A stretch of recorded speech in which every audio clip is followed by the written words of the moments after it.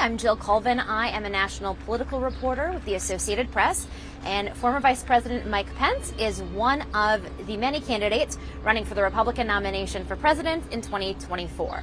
Pence had a long career in politics before he became former President Donald Trump's running mate. Uh, he served in the House of Representatives representing Indiana, then became Indiana's governor. Um, he also spent some time as a conservative talk radio host, often describing himself as Rush Limbaugh on Decaf.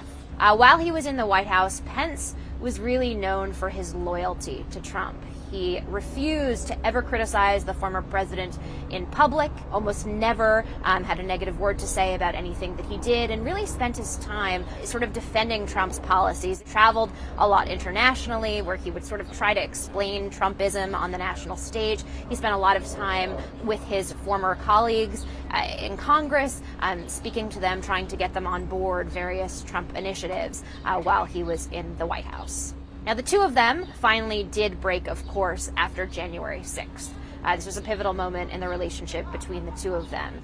Pence, after leaving office, really tried to play a very delicate dance. You know, over the months as he reemerged in public and began to make speeches, uh, he would criticize Trump for January 6th.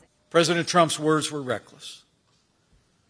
They endangered my family and everyone at the Capitol uh, while also continuously applauding the record of what he always refers to as the Trump Pence administration. Where we created 7 million good paying jobs, secured our border. Pence in this campaign has really tried to present himself as the true conservative in the race. He's spending a lot of time in Iowa. It's the state where he launched his presidential campaign. And he's trying to appeal to the evangelical conservative voters in that state, in other states, who support policies that he supports. Things like a national ban on abortion. He talks a lot about parents' rights. He's somebody who, unlike Trump and Florida Governor Ron DeSantis, has said, look, we need to look at entitlements, things like Social Security, potentially raising the age of qualification to keep the system solvent. He's talked about a more aggressive foreign policy stance, including more support for Ukraine, very much supporting those Reagan esque establishment Republican policies